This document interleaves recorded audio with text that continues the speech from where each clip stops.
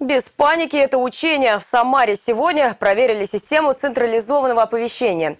Ровно в 10.00 по всему городу раздался сигнал тревоги. Активизировали все источники связи, электросирены и громкоговорящие устройства, которые установлены на крышах жилых и административных зданий.